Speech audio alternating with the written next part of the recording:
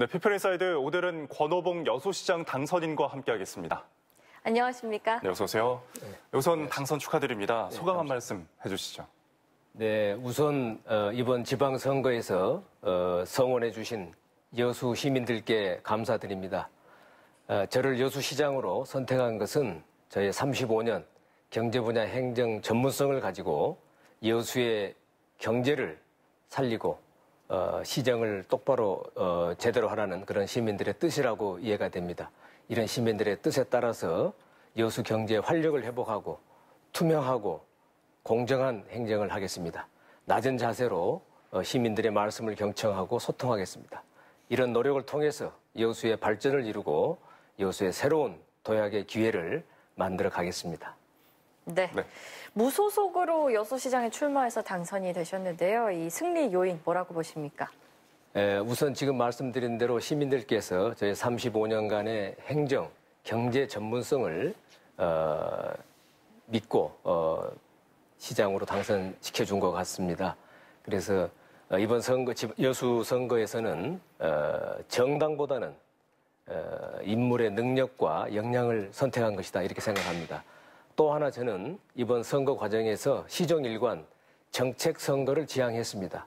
시민들이 걱정하시는 문제를 어떻게 해결할 것인가 공약을 반- 반영하는데 에, 심혈을 기울였고 저의 공약을 기회가 있을 때마다 언론이나 또 SNS에 실시간 패널 토론을 통해서 알려드리고 또 시민단체나 언론에서 주관하는 모든 어, 토론에 참석을 한 것을 높이 평가하신 것 같습니다.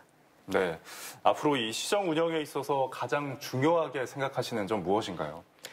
어, 저는 어, 우리 어, 시정의 중심을 어, 균형 발전에 에, 두고자 합니다. 네. 여수가 그동안 많은 발전을 했습니다마는 그 과정에서 산업 간, 지역 간, 또 분야 간의 불균형 문제가 있습니다.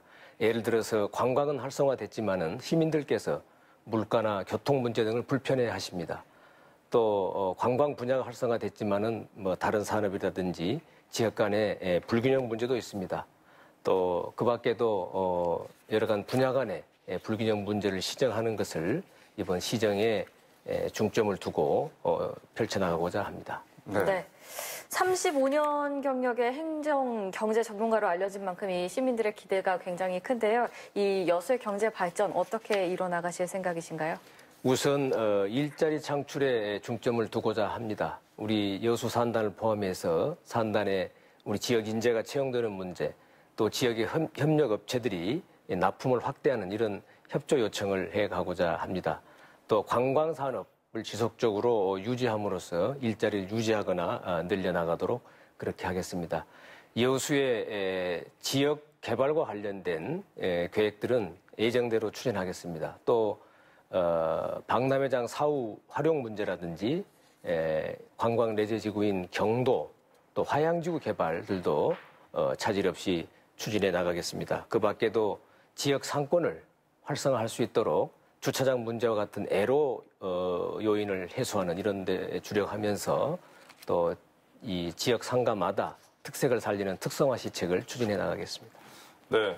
여수 관광 발전을 위해서 이 지속 가능한 전략이 필요할 것 같은데요. 어떤 전략이 필요할까요? 우선 관광이 지속 가능하기 위해서는 어, 관광객들의 만족도가 높아야 됩니다. 또 하나 중요한 것은 시민들의 불편도 없어야 합니다. 네. 네. 저는 이 문제와 관련해서 우선적으로는 현재 관광 통계 의미가 있습니다만은 정확한 방문객 수를 파악하는 관광 통계를 보완하겠습니다. 그래서 이, 이 통계를 기초로 해서 교통, 주차장 문제 또 음식 숙박업 정책 등을 해 나가고자 합니다. 관광객의 만족도를 높이기 위해서는 우선 여수에 오셔서 어, 교통 문제 불편함이 없어야 되고 또 음식 숙박업 등 서비스업의 에, 서비스의 개선 또 어, 관광 안내와 같은 행정 서비스 개선도 해 나가겠습니다. 시민들의 불편함이 없도록 어, 물가 안정 문제 또 여가를 즐길 수 있는 이런 문화예술 체육 여건도 개선해 나가겠습니다. 네. 사실 이 주말에 몰리는 관광객 때문에 원래 살고 있는 주민들이 주말마다 집 밖으로 나가기 힘들다. 약간 이런 식으로 불편한 문제가 계속 대두되고 있는데요. 이런 문제들은 어떻게 해결해 나가실 계획입니까? 네, 우선 그 주차장 문제는 어, 단기적으로는 현재 있는 주차장을 어, 쉽게 예, 찾을 수 있는 그런 주차 정보를 제공하는 앱 등을 활용하고 네. 뭐 장기적으로는 주차장을 또 확보해 나가겠습니다. 네. 교통 문제도 애로 구간들이 있습니다. 엑스포 여갑 사거리라든지 돌산대교 입구 등 어, 애로 구간 해소에 중점을 두겠습니다. 그리고 시민들께서 어, 물가 문제를 많이 걱정하시는데 안정적으로 관리하면서 많이 이용- 이용하시는 서비스 요금에 대한 할인 혜택 등을 확대해 나가도록 그렇게 하고자 합니다. 혹시 소음 문제에 대한 해결 방안도 있을까요?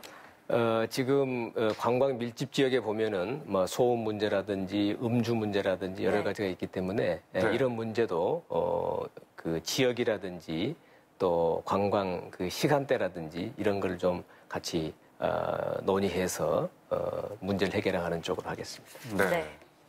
또이 맞춤 복지 정책 시행으로 복지 사각지대를 해소하겠다는 공약을 거셨는데요. 이 구체적인 실현 방안 말씀해 주시죠. 어, 우리 시- 여수시 재정의 33%를 복지 분야에 투입을 하고 있기 때문에 복지 시책은 막 비교적 잘 갖춰져 있습니다. 그럼에도 불구하고 부분적으로 좀 부족한 부분, 사각지대가 있습니다. 예를 들어서 아동과 여성의 에, 경우에 아이 기르기 좋은 환경 측면에서 보육 서비스가 더 어, 개선돼야 하고 등 하굣길에 아이들의 안전 문제 더 어, 신경을 써야 되겠습니다. 그리고 어르신들의 체육 활동이라든지 도서 지역에 보면은 어, 물리치료 받고자 원하시는 어르신들이 많습니다.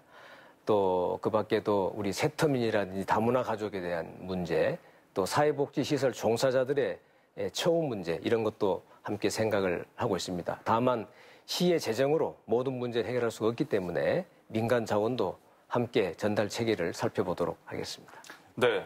민선 6기 주철현 시장이 사용했던 이 아름다운 여수 행복한 시민이라는 이 시정 슬로건을 어, 그대로 사용하시겠다고 하셨는데요. 이유가 있을까요? 어, 우선 아름다운 여수, 행복한 시민. 참 이게 에, 우리 시로 봐서는 적절하고 좋은 아, 시정 구호입니다. 에, 그래서 그 구호보다는 과연 이것을 실현하기 위한 비전과 아, 정책이 더 중요하다고 어, 생각을 했습니다.